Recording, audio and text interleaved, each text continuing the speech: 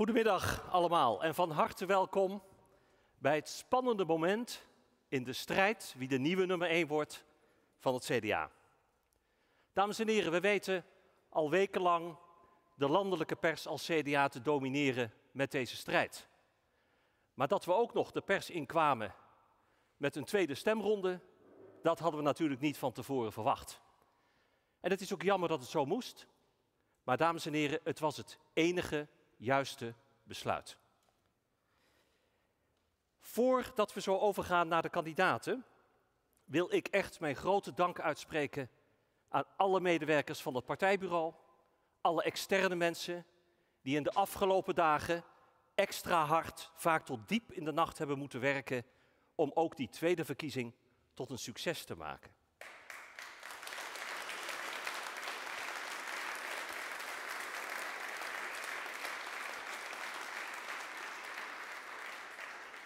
En dank bovenal aan al die leden die de moeite hebben genomen om te gaan stemmen. En dat weer opnieuw hebben gedaan. Dank jullie wel daarvoor. Jullie hebben gezorgd voor een hoge opkomst, waarover zo direct meer. Maar ik vind het heel fijn dat dat gelukt is. Het lijkt me goed, dames en heren, om te gaan naar de hoofdrolspelers van vandaag. Uw applaus voor Mona Keizer, Hugo de Jonge en Pieter Omtzigt.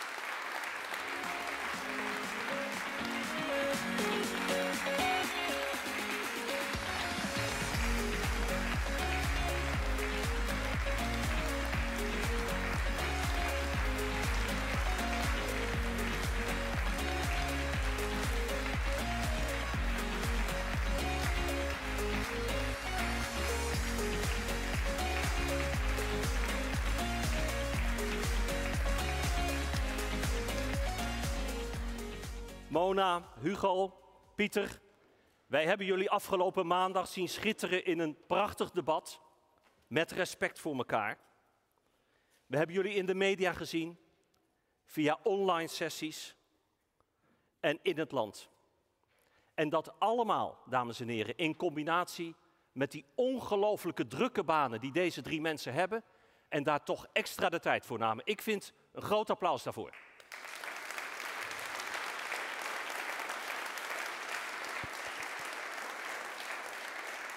Een topprestatie, een topprestatie en ook nog een achtbaan.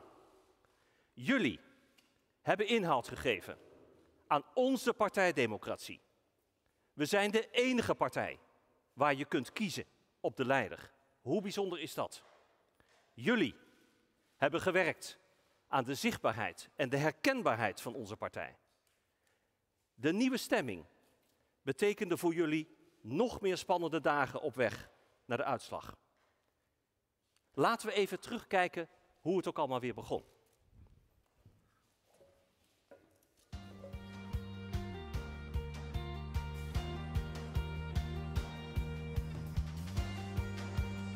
Juist in moeilijke tijden heeft het CDA altijd verantwoordelijkheid genomen. En in die traditie wil ik staan. En daarom stel ik mij kandidaat als lijsttrekker van het CDA. Goedemorgen, heren, zou ik willen zeggen. Ik heb het besloten, ik ga ervoor. En die verbinder zal ik zijn. Dit werk wil ik voortzetten. Deze idealen wil ik een plek kunnen geven. En daarom ben ik beschikbaar als lijsttrekker van het CDA. Ja,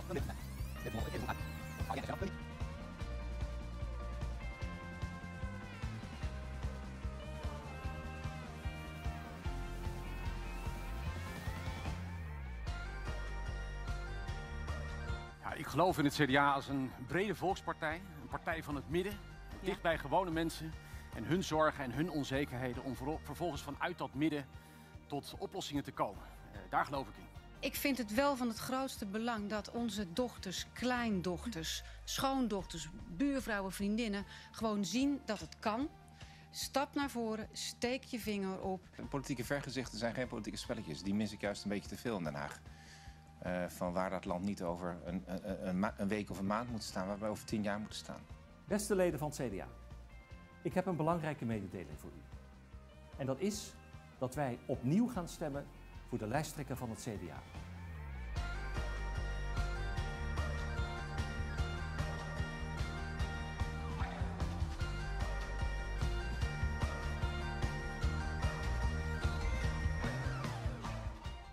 Dames en heren, de verkiezing is begeleid door twee procesbegeleiders, een stemcommissie en een notaris.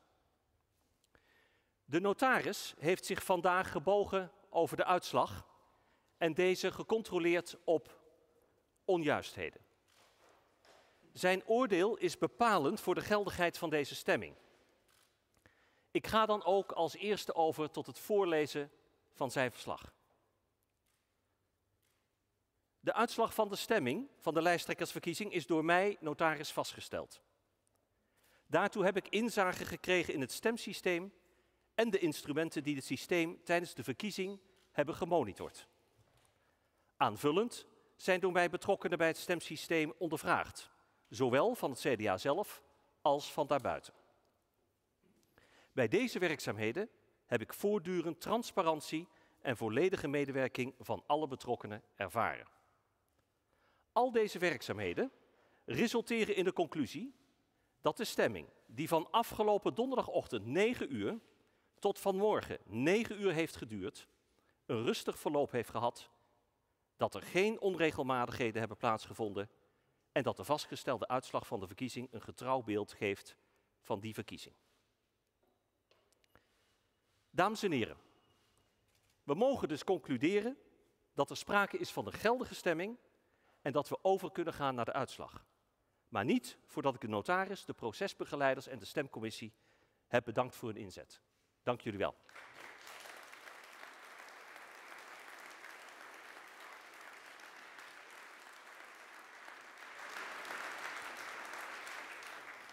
Dames en heren, de leden hebben massaal gestemd. In 2012 was de opkomst 54,9 procent. Laten we kijken wat de opkomst nu is.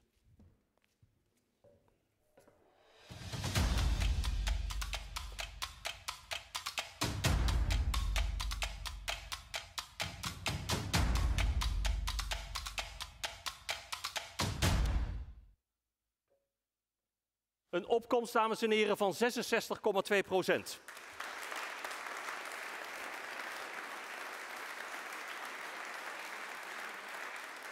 Dat is, dat is ongeveer 12% meer dan acht jaar geleden. Daar mogen we denk ik als partij trots op zijn. En dan nu. Het moment waar we allemaal voor zijn gekomen. Mag ik wat tromgeroffel?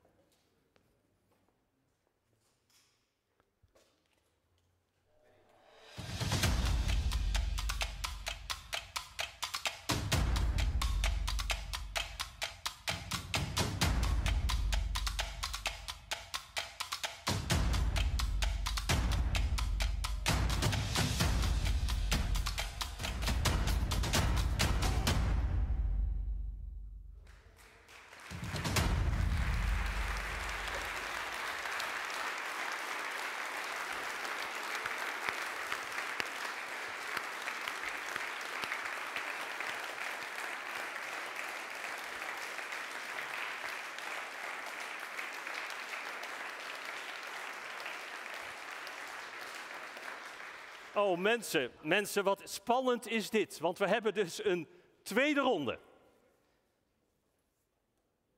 Eerst richt ik graag toch het woord tot Mona Keizer. Beste Mona, namens de hele partij wil ik jou bedanken voor het feit dat je jezelf kandidaat hebt gesteld. Je nek hebt uitgestoken. De strijd bent aangegaan. Ik heb het eerder gezegd, je bent een vrouw met lef. Je was een krachtige kandidaat met een heldere boodschap en een boegbeeld voor het CDA. Je staat midden in de politieke werkelijkheid van alle dag. En levert dag in dag uit een belangrijke bijdrage aan ons landsbestuur en aan onze partij. Jij staat voor het bedrijfsleven, je staat voor het grootbedrijf, maar nog meer voor het MKB en onze familiebedrijven. We mogen trots zijn op je. Mona Keizer, dames en heren.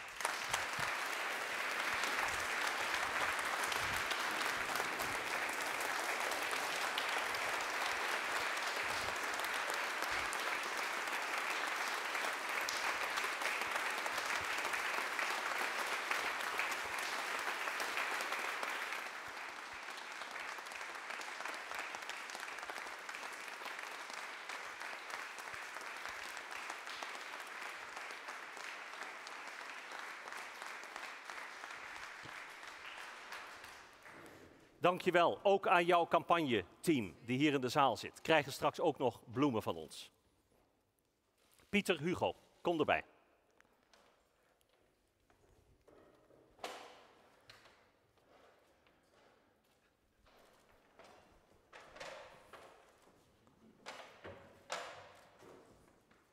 We houden netjes anderhalve meter afstand. Beste Pieter en Hugo, de uitslag is helder. De strijd om het lijsttrekkerschap van het CDA is nog niet voorbij. We gaan een tweede stemronde houden. En om de stemmen van de derde kandidaat zal gestreden moeten worden. Maar allereerst, wat willen jullie zeggen tegen de mensen die op jullie gestemd hebben? Pieter. Ontzettend bedankt voor de steun. Echte hartverwarmende campagne en de reacties die we gehad hebben. Een partij waar we trots op kunnen zijn de nieuwe ideeën die in onze partij rondgaan. En nou, het feit dat we binnen twee weken van 0 naar 40 procent gekomen zijn. We gaan nog even een paar dagen keihard door. Dank jullie voor jullie steun.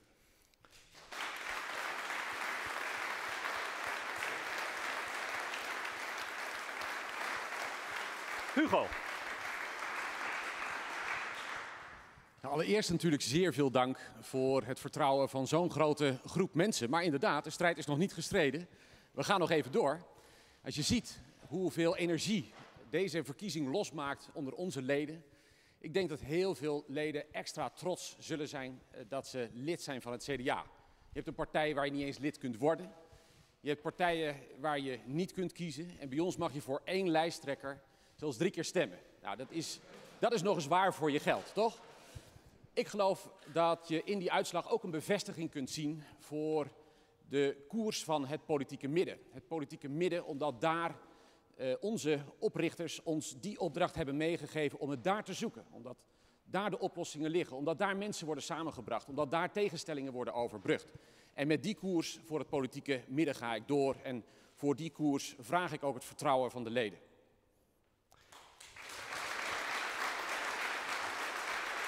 Dankjewel. Dank jullie wel. Dat het veel deed met het land betekent dat we ook in de afgelopen twee weken meer dan honderden nieuwe leden mochten ervaren. Die dachten, we mogen ook stemmen, maar zijn toch allemaal gebleven. Dus dat is fijn. Mochten niet stemmen, helaas, want daarvoor moest je op 11 mei jongsleden lid zijn, plus je contributie hebben betaald. Heren, hoe denken jullie die 11% van Mona binnen te halen? Hugo. Kijk, we staan met elkaar voor een geweldig grote taak. Als CDA, maar ook als Nederland. Een enorme taak om als één samenleving die crisis te boven te komen. Die crisis heeft ons geweldig hard geraakt in alle facetten van ons leven. De onzekerheden die we toch al hadden, die zijn nog eens extra versterkt. Onzekerheden over de zorg, onzekerheden over onze baan, onzekerheden uh, over een woning. We hebben grote onzekerheden. En die onzekerheden kunnen de katalysator zijn van tegenstellingen in de samenleving, kunnen polarisatie bevorderen. En wij horen als CDA het tegenover te zijn van die polarisatie. Het is onze taak om bruggen te bouwen. Onze taak om te bouwen aan nieuwe zekerheden voor de toekomst. Onze taak om te bouwen aan een sterker Nederland. En daar heb ik jullie steun van harte bij nodig om te zorgen dat het CDA daar weer een leidende rol gaat spelen. Wil ik die, wil ik die partij heel graag gaan leiden. Daarvoor heb ik jullie steun van harte nodig.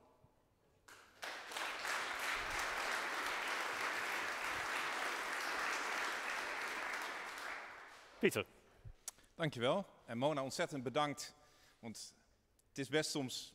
Het, het, het, het vergt wat lef om kandidaat te zijn. En het is ontzettend leuk om dit met z'n drieën en zelfs nog even met z'n vieren gedaan te hebben.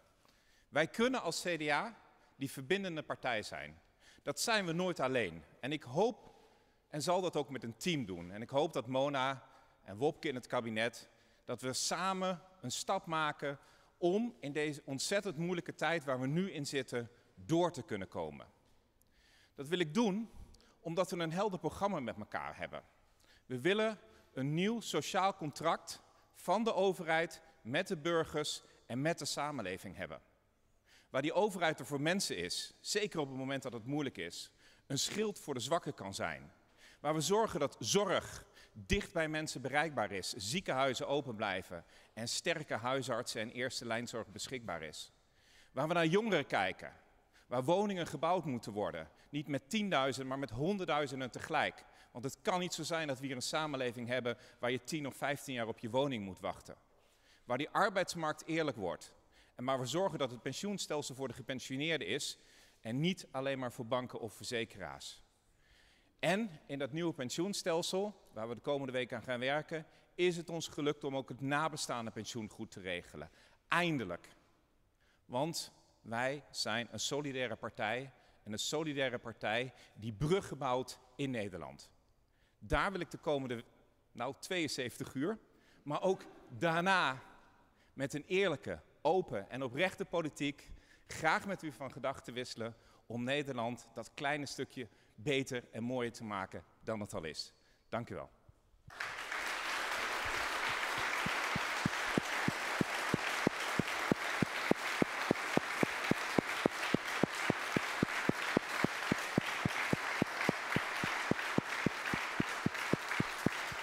Heren, heren, ik wens jullie alle twee heel veel succes komende dagen.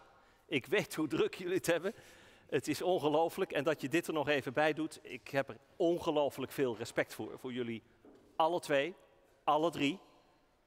Um, ik wens jullie gewoon heel veel plezier ook de komende dagen. En ik hoop, we zien jullie maandagavond in debat met elkaar bij Op 1. Dat wordt een mooi debat. Zeker. Maar voor die tijd gaan de stembussen weer open. Ik zou zeggen, geef ze een applaus en dan kunnen ze gaan zitten.